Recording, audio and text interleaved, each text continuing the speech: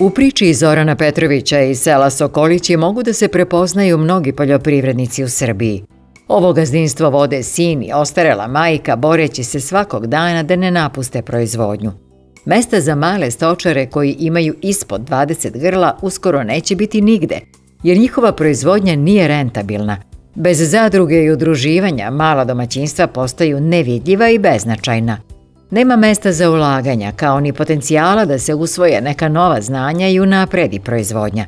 Država nema strategiju, a tržišna utakmica postaje sve surovija, ostavljajući prostora isključivo za velike farme.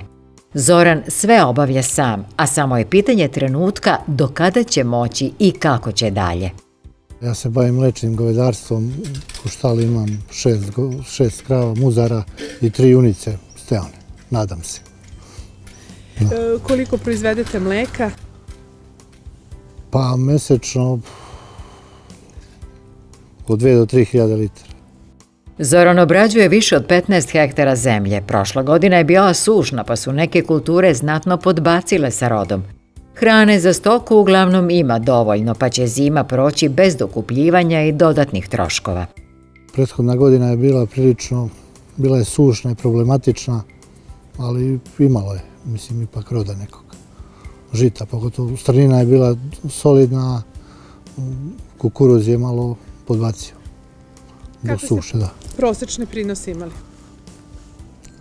Pa pšenica oko 4 tone, ječam isto tako, a kukuruz možda 3 tone po hektaru. Subvencije države su od presudnog značaja za opstanak stočarske proizvodnje. Nove cene mleka, premije i isplata po grlu omogućavaju preživljavanje. Zoran se nada da će mu zaostala dugovanja biti ubrzo isplaćena kako bi mogao da obezbedi minimum uslova za svoje grla. Nažalost, prizor koji zatičemo na ovoj farmi je svakodnevica našeg sela. Staje su niske, mračne, neprovetrene i skučene, pa ne treba dovoditi u pitanje ni lošu mlečnost.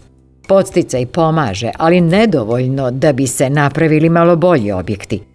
Cena od 70 dinara po litri mogle bi da dovede do poslovanja u plusu i zarade od koje bi moglo da se ulaže u nove investicije. Dosta je dobra. Mislim, 25.000 po grlu za krave i, e, i premija je 15 dinara po litru. Mada nisu isplatili za drugi i treći kvartal premiju za mleko. Do duše i za krave nisu isplatili još ove godine. Ali nadam se da će uskoro da isplate. Rentabilna je 70 dinara možda da bude cena mleka. Mada trenutno nama plaćaju 55 dinara. To je to. Jel sa tom e, cenom možete da, da poslujete u plusu, da imate zaradu? Pa, pozitivna nula, rekla bi se, kako se kaže. Da ne odem u minus samo. Za pasivne krajeve i mala domaćinstva poput ovog postojanje zadruge je od presudnog značaja – U selu Sokolići ona postoji, pa meštani polako počinju da se okupljaju oko zajedničkih interesa. Nedostatak radne snage je samo još jedan od razloga da poljoprivrednici udruže svoje resurse i stvore bolje uslove za poslovanje. Za sada još, još je to u povoju, ja mislim da će, ali nadam se da će biti to dobro. Mislim da će da bude solidno. Zato što je radna snaga je mnogo u selu, nema je, i onda kad se više njih nas udruži, mnogo lakše radimo i obavljamo posao.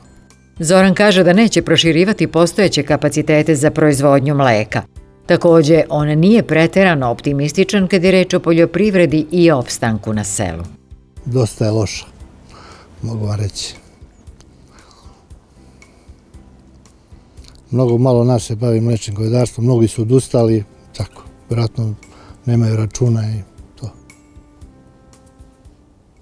Domaćin će svaki znati dobar savjet se isplati sa novog portala Vreba Saveti sa Agroneba. Posetite ovog trena i nestaće ta dilema.